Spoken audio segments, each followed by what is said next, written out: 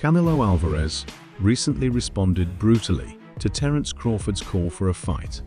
Israil Madrimov thinks Terence Crawford would have a very tough time going up to super middleweight to take on Saul.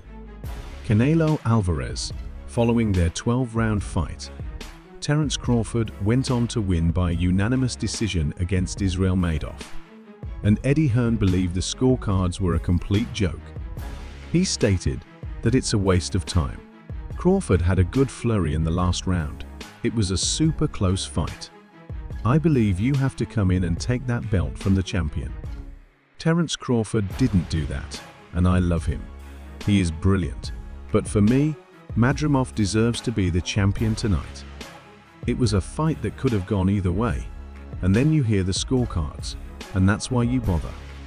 You lose by four rounds on two of the scorecards. It wasn't that kind of fight going into the fight. Crawford was a heavy favorite, and considering the fight went the distance, and he won narrowly on the judges' scorecards, it goes to show how good Madrimov really is. Much of the attention leading up to and during fight week was on Crawford's possible promotion to confront Canelo Alvarez, the super middleweight champion. According to Madrimov, the outcome will largely depend on the weight at which Crawford and Alvarez square off. I don't know. It depends on what weight they fight in, he said. But if they fight in Canelo's current weight category, then I think it will be very difficult for Crawford because he's massive. Although Madrimov thinks Crawford is too small to match Alvarez at 168 lb, he does concede that the former 135 lb fighter possesses a strong punch. There is no doubt that he has power. There is no doubt that he has skills. I knew that's why this fight was so close. Madrimov added that if I had won the 11th and 12th the rounds, maybe I could have won the fight or gotten the draw. But I did what I could and followed my plan. I did a lot in the beginning of the fight as well. I tried to be aggressive. I tried to take the fight to him. I obviously exerted more energy, but maybe next time, with the experience I gained, I can do better. In the future, be sure to subscribe to the channel and turn on the post notification bell by doing this, you'll never miss out on any future videos from Combat Sports World. Originally, when asked about the idea of a Terence Crawford fight, Canelo didn't seem too interested as the weight difference was a lot between the pair. I don't know. But just like it was with Golovkin, is that going to be the case all over again with Benavidez? I know you're focused on Charlo, but is that going to be the case with Benavidez? Everyone's asking you. Yeah. Kick ass. Yeah, yeah. Maybe. How, how bad do you want to shut him up and be like, hey, this is the guy? Like, shh, like I, I kicked his ass. Okay, you know, I, I don't, I don't wanna say, yeah, like, because it's a lot of people like, like him, and I, I don't care. It's fine to, to have opposite. You for Crawford to call you out at 68, say that he can beat you at this weight? No, you know, everybody wants to fight with me, so it's fine. That being a bigger, biggest fight possible in boxing, is that something you'd actually be interested in? You know, it's crazy when you asking about that because you say, ah, your Machado is coming out with other weight classes and that's it, and he's welterweight, so don't make sense. But uh, if the fight made sense, why not? A lot of people have him at number one pound for pound. You think that's fair to you? You know, it's a, a few people there who deserve be the number one pound for pound, and it's fine. How do you win the fight? Huh? How do you win the fight? With a lot of body shots. But now that we've seen Crawford already go up in weight to fight Madrimov, it's clear his intentions are to get used to the weight and find a way to make it happen. Although I think we can all agree, Crawford would still need a few tune-up fights before taking on Canelo, as he looked good, but Canelo is a different beast in there. If Terence Crawford and Canelo Alvarez square off in a major bout in the first quarter of 2025, Alexander Usyk believes that Crawford will prevail.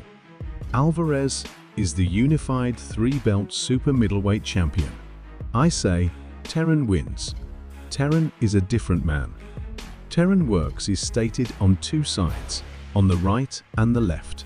Alexander Usyk, on the YouTube channel 3 Knockout Rule, believes that should the bout go through, Terence Crawford will defeat Canelo Alvarez in the 168-pound weight class in 2019. He feels the distance. Terran can box like a big guy, said Usyk. Now hearing those words from someone like Usyk and the legacy he has, goes to show how close a fight would actually be between the pair, as he knows boxing like the back of his hand. And hopefully, we can get this fight announced a lot sooner rather than later. Crawford has made it known for a while that he's wanted the Kilo fight for his legacy. And of course, the huge payday, and he knows it would have to be at a catchweight. Trying to make all-time history. Right. You know, um, if the Canelo fight uh, fight come to fruition, then that's a fight that I'll be willing to take just off the wrist. Mm. You know, to be one of the all-time greats that you know that that that that's a fight that That's the one that gets you going. I can see it in your eyes. yeah Yeah. that's a fight because of the challenge. Yeah. I love the challenges, and I love, I love the people that I hear them now. You too little. You know, Canelo gonna break you. He's gonna stop you. You come from 147. That weight too big. This and that. I can hear now, and that just excite me to go in there and just be like, okay, let me prove him wrong once again. That fight would be gigantic. If Canelo gets through Jermell, and then you Before we go any further into the video, how would you guys see a fight panning out between Terence Crawford and Canelo Alvarez? Would it be a one-sided beating by Canelo, like many are predicting, or could you see Crawford being able to disarm Canelo and get the win over him? Comment down in any case. Bud has achieved success at 154 and can go towards his objective of taking on Saul. Canelo Alvarez, at 168, and a leak of Riyadh Season have acknowledged that he made the Mexican an offer. Many believe the Omaha pound-for-pound star should refrain from making another weight jump because the Madrimov achievement is now used as a benchmark. Ryan Garcia is one of those who voiced his thoughts on social media following the fight. Crawford cannot beat Canelo. Let's be real. The left jab is connecting for Crawford, and the left hook is key for Madrimov. If he can land, between Davis and Shakur Stevenson would go down? Would Davis's knockout power be too much for Shakur to handle? Or would Shakur Stevenson be able to get a decision win with a defensive masterclass? Comment down below. The question of who would win in those loaded weight classes and who is the best has long been up for discussion. Recently minted heavyweight champion Claressa Shields stated that Stevenson was the best in an interview with Cigar Talk. Shakur is the best to me. He's better than Tank, better than Devin, better than Ryan Garcia, and he's better than Taimo. Shakur is my number one when it comes to those weight classes. He is me. I'm not going to ever dismiss a fighter. I think Tank got some great skills and hard-ass punches. He's so EXP explosive, but so is Shika. Shakur has, for me, faced harder challenges than Tank. When you look at the guys, Shakur fought their records and style. Tank cannot say he's the best if he knocked out Ryan and Rolly, who is a Rolly and who is a Ryan. Those guys would never get in the ring with Shakur. People say it only takes one. You're right. But when you're only getting hit 5 or 6%, I'm just rocking with Shakur for that fight. And he's going to be smart. Shakur's strong too. He's fast too. When he's got something to prove he fights to a higher level. Time will tell if this fight comes into fruition as the fans want it. It makes sense timing-wise, so hopefully it goes over the line and contracts get signed anyway. This concludes today's video.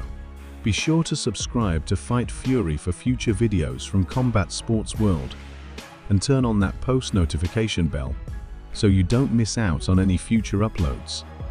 Until then, see you in the next one.